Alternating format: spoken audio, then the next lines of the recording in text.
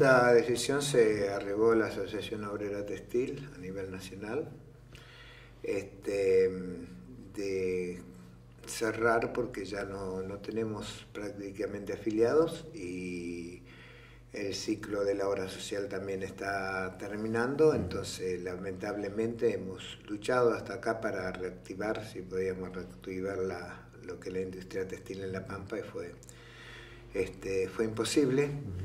Entonces, después de 35 años, 36, este, la Asociación Obrera Textil, que llegó a nuclear casi 2.000 trabajadores, casi 2.000 afiliados, cuando estaba Bolsa Pampeana, cuando estaba Indumentaria Argentina y Alpargata, por supuesto, ha llegado a este momento donde con el cierre de la principal fábrica textil que teníamos hasta el año pasado cerró y entonces este, se llegó a la decisión esta, que la asociación no puede mantener una estructura si no tiene afiliados, porque el gremio se nutre de los afiliados. ¿Cuántos afiliados tenía en el último tiempo? Y en el último tiempo, si hablamos del 2016, cuando empieza esta debacle, eh, contamos con casi 500 trabajadores en Alpargata y más algunas pymes.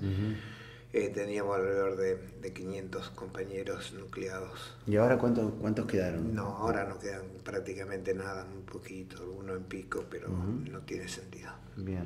Eh, Nerio, si tuviera que brindarles un mensaje a los afiliados, a la gente eh, que por ahí se quedó sin trabajo en el último tiempo, estuvieron luchando desde la Asociación Textil para recuperar la industria textil en la provincia de La Pampa, pero no se ha logrado dar en estos últimos años. Eh, ¿Qué les diría? Que no bajen los brazos. Eh, que nunca bajen los brazos. Y que cuentan con el apoyo mío incondicional. Por más que esto no esté abierto, todos tienen mi, el teléfono. Voy a seguir aprovechando, eh, voy a seguir apoyando a la, a la agrupación Despedidos. Y, y que hay que luchar todos los días para poderse reinsertar eh, nuevamente en el sistema laboral. Hay que seguir golpeando puertas, hay que seguir hablando con los políticos.